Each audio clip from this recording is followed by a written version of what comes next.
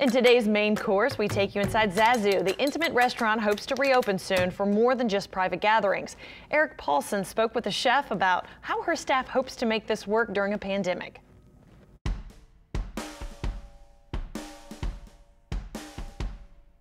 Well, right now we're just trying to keep our head above water.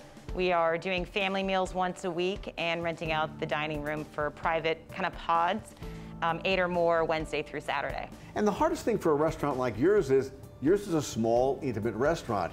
It's wonderful when there's no pandemic. It's probably hell now. You're exactly right. It's been really hard because we can't really space the tables out enough to have um, guests in the dining room with it being lucrative and worth our time. And also it's kind of, you know, scary being in a small space. Like every other business, the pandemic has forced people to change their thinking. And in Sue's case, a little creativity will make her restaurant with four booths and limited table space work. And we have plans to have um, partitions put in in the next couple of weeks. So hopefully we'll be able to open up the restaurant and maximize our seating. And that, I assume, is your goal, is, is to get back open again. I mean, I think that's pretty much everyone's goal. Um, we'd like to have guests in the dining room again and get back to cooking for larger amounts of people, more days during the week, and also just kind of cooking the food that we're used to making. Our family meals are more family oriented, and I'm really sick of putting beautiful food in a to-go box. So her goal in the next couple of weeks is to open her restaurant to the public, but there will be limitations because of the size of this place and for safety.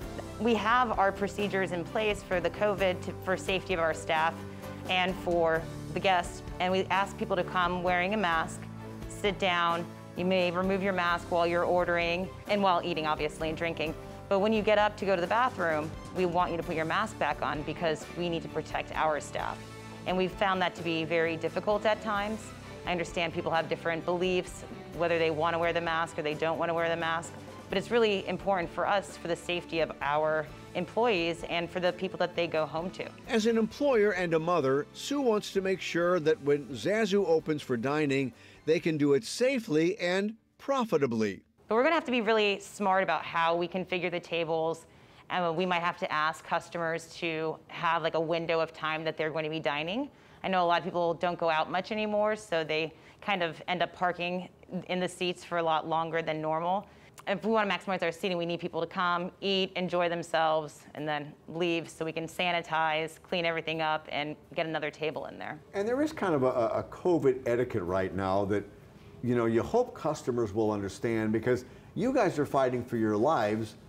You know, customers are coming in to enjoy a good meal. I mean, all it takes is a couple of cocktails when people forget to put their mask back on or they start laugh, you know, I'm scared of them laughing and crying and getting too excited because, you know, it's airborne. We got to be really careful about that. And I want people to have a good time, but I also want them to be respectful of our staff and to the other people dining in the dining room. And hopefully all goes well at Zazu, which I learned from Sue is not how she pronounces the name of her restaurant. So I'm Slovak, and in um, Slovak, za means again, and so this is, was like my re, you know, my rebirth coming back after having a child and taking some time off. So it's my Sue again. So, and you pronounce it Zasu. Zasu. Mm-hmm.